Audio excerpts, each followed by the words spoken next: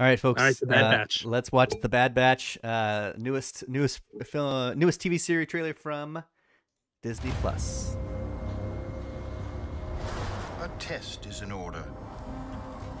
Five enhanced clones? More capable than an army. Yet they exhibit a concerning level of disobedience in disregard for orders.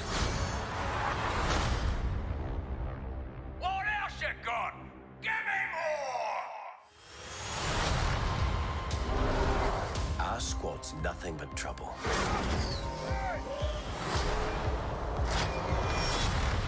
But we get the job done.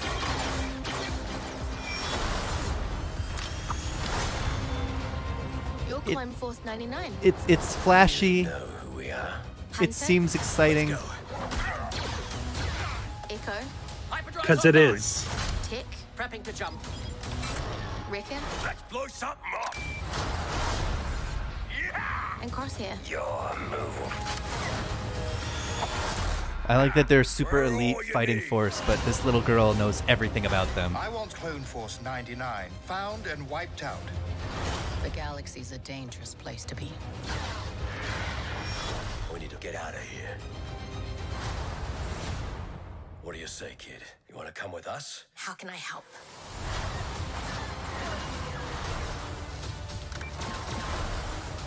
Clone Wars have ended. You can either adapt and survive,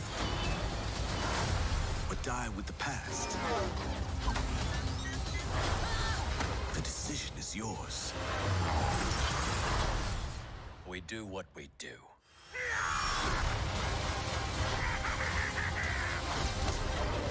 Strap in, kid.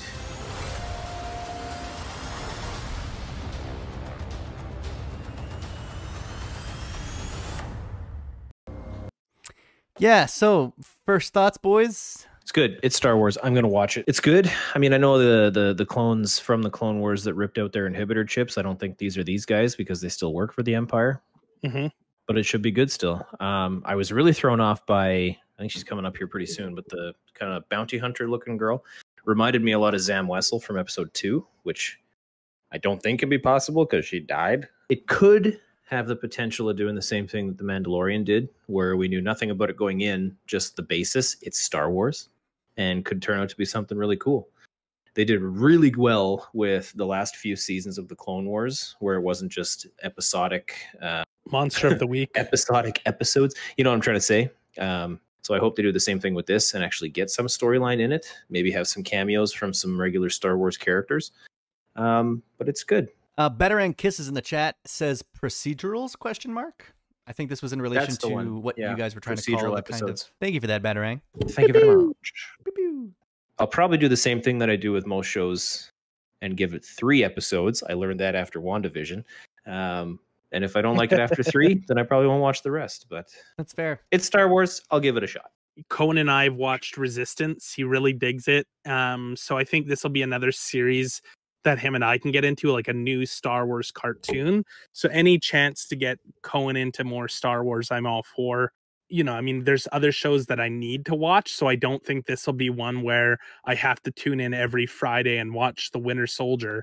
Um, Right. but probably when it's all out, Cohen and I will sit down and watch three or four episodes on a Saturday, like a rainy Saturday uh, afternoon kind of thing. But uh, it looks fun. I, I I'm all for squad based. Uh, everybody's different, and we co- we our difference is what is what makes us strong. It's Yeah. What do you think? You're I- not a huge Star Wars guy to begin with. You know, the TV shows were never really something that stuck out to me. Uh, they, they like all the Clone Wars and all the other stuff. Uh, I just, there- it seemed like, hmm. and as we spend more and more time in the Star Wars universe, I feel like we're just rehashing the same old stories. And I get that this is a new story, but it's still about clones. It's probably still going to be touching about the same uh, themes that the Clone Wars touched on and such like that. I'm sure it's still going to be a good show. Dave Filoni is uh, helming this project, um, along directed by Brad Rau. But I, I'm, I don't know. I like, I, you know what? I'm, I'm going to wait for you two to tell me that it's amazing and I have to check it out, and then I'll check it out. The same way I did with Mando. Oh, yeah, sure. It only took us six years to get you to watch Mando, and the show's only been out for two. Hey, I, I was Um, all caught up on the, the day before the uh, the day before the finale, because you crammed it. and loved it. Loved every minute of it. It was great, great show. Anybody who hasn't seen The Mandalorian, go watch it right now. Yep. Um, but I get what you're saying, Rico, because I'm I mean, they could make a million series within the span of uh the nine trilogies or the nine movies, the three trilogies, and I would watch all of the shows, all of the movies. Um, but I want to see something else. Yeah, I want to see something like that Mando. doesn't take place. This is Mando Um, was not a retelling of an old story. It was not. It was no characters that we knew about. It was all new, and I loved it all. And it was Mando was a. Star Wars show that didn't didn't throw Star Wars in your face every time, you know. And and I'm worried that this just might be a lot Too much oversaturation. oversaturation. Like, not not that like having too many Star Wars shows is a bad thing. I just think that when you watch this series on its own, it's going to be like, hey, remember this character from that movie or that character from this show, and and all these Yeah. other events, and it's going to be like that every episode. And I'm worried about that because Mando wasn't like that at all. Mando was like, it's Mando, Mando, Mando, Mando, and then the last two episodes were like, remember this, and remember that, and it was like, ooh, Yeah, season two is a lot better with uh, better slash worse with bringing in characters from Star Wars that you already knew, like Ahsoka Tano or Luke Skywalker. Spoilers for Mandalorian. Um, it's gonna be. I hate to say it. It's gonna be fluff. Uh, if they were smart, they would end the first season in a way where it, it is ambiguous. It could set up a second season, but it could end after the first season. And I honestly have a feeling that it's not going to get a second season because they're not going to get the viewership. I don't know who this character of like the little girl is. That's a character that's not a Jedi. That's just like there's something special about her, but she's not a Jedi. She's some sort of fighter warrior. I'd rather see a series about her dealing with stuff in the in the in the universe um than see more clones see more jedi like as much as i'd love to see more jedis and i'd love to see more clones um i want to see a story that takes place in that universe outside of what we already know give me something i don't know about that universe so yeah. this You want to see that. what happens to the little kid at the end of episode eight, Broom kid, which broom is boy. basically, basically yeah, broom Yes. boy, which is basically what this is.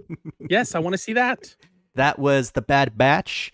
Uh, let's give it our ratings, boys, and tell me what you think. Uh, so for me, the Bad Batch trailer, uh, I'm gonna give it. Um, I'm gonna give it one know-it-all little girl, just one know-it-all little girl. You know, she's she she knows way too much. How could she know so much about these this elite group of fighters? I just don't understand. she's some she's some sort of obviously look at her she's standing around a bunch of troopers she's some somebody's daughter she's That's- somebody On the left hand side, that's a Kaminoan for sure. Co- Kaminoan for sure.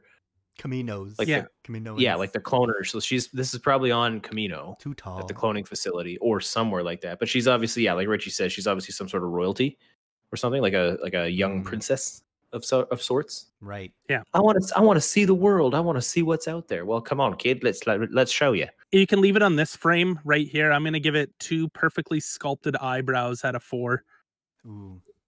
Hey, royalty, man.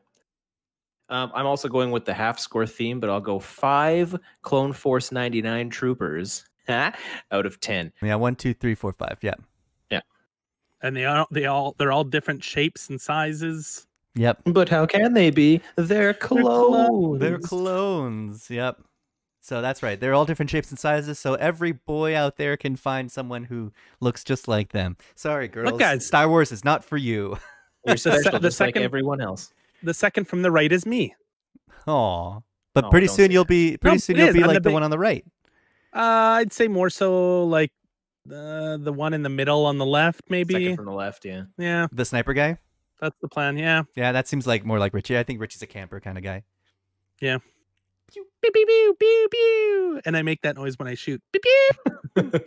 I think I think Schubey's more like the run and gun. I think that's more like Schubey. Schubey's the guy who's like in your face with the bang bang and the boom boom. Oh boy, you, did you ever peg that wrong? Really? No, I stay as far back as possible, man. If anything, I'm like a sniper. Uh, Get me out of the action. I, I'll I'll pick them off from afar.